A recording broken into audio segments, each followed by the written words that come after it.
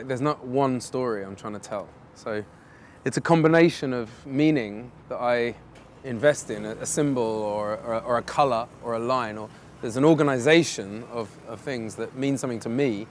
But I, am it's also, I'm very conscious to sort of give it away to the people walking by. That's the whole point of doing something in the street is you're sort of talking to people that you're never going to meet.